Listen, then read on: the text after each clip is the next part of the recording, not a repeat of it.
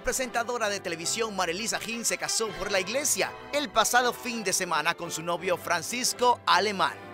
La pareja ya llevaba más de cinco años de noviazgo.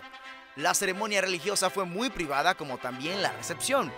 Los encargados de animar el rumbón fueron Mr. Psych y los Rabanes. En la boda de Mare y Frank estuvo todo el canal de Tumba Muerto.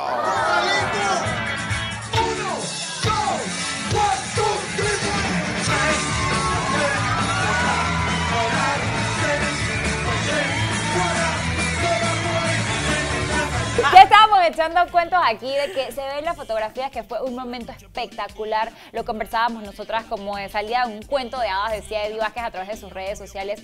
Qué momento más bonito. Y la verdad es que de parte de las chicas del Purgatorio les mandamos un montón de bendiciones para que disfruten este amor que, bueno, ya hace un par de años atrás que nació, pero que ahora es que se consolida. Así que muchísimas bendiciones para ustedes y para esta nueva familia. Alemán para ellos. Tienen bebés Alemán me encanta. y van, van a, el bebé van a venir en bicicleta. Van a venir teatretitas. Van a llegar en bicicleta de una vez los dos. Oye, la verdad es que muchas felicidades para ellos. Yo leía en las redes de Marilisa que se sentía contenta por muchas cosas y más porque la organizadora de la boda le colocó piñas. En los lugares que ella menos lo esperaba, Sí. tenía unos detalles de piña y ella decía que le encantaba muchísimo los toques verdes y que ella no estaba en la playa, pero con, con toda la decoración la Se trasladaron sentía. a la playa y se sentía como tal. Así que se disfrutó muchísimo su boda y se vio porque casi toda la farándula, o más bien todos los que trabajan en TVN, pues se dieron presentes a la Cercanos a boda ella. y compartieron todos los detalles. Los Insta Histories el sábado, la verdad es que estaban llenos de fotos, de videos, de gente que se la disfrutó.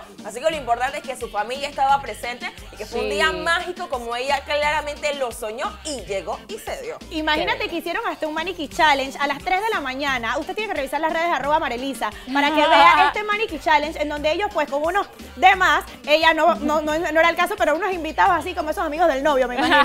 Y entonces se quedaban así quietos y se iban como de lado.